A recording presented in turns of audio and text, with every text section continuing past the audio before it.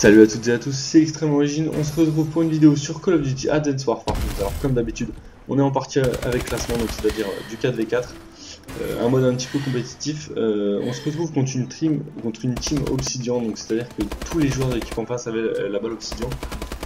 Donc euh, première partie, on va se faire complètement défoncer, on va prendre 6-3. Donc voilà, c'est pas vraiment défoncer, mais on s'est fait en tout cas, vraiment on s'est pris des, des gros bullshit. C'est-à-dire qu'on a vraiment pris peu de balles, vous allez voir, hein, je vous ai mis un petit montage. Euh, on va seulement se faire tuer par des balles obsidian, puisqu'en face ils avaient tous la balle obsidian. Euh, on les joue dans un deuxième match, donc c'est-à-dire qu'on a relancé une partie directement après, et eux aussi, donc on est tombé encore une fois contre les mêmes, cette fois sur un point strat solar, et vous allez voir qu'on va prendre notre revanche. Donc ça m'a vraiment fait plaisir, on a réussi à, gagner contre, contre eux parce que voilà c'était un petit peu euh, on jouait seulement à deux avec Extreme Rider donc on jouait avec deux autres joueurs qu'on ne connaissait pas qui ont fait du mieux qui ont pu mais c'était quand même pas terrible donc euh, voilà on ne communiquait pas en groupe. Eux ils avaient vraiment une team à 4 à communiquer tous la même marque de tour ils avaient l'habitude de jouer ensemble.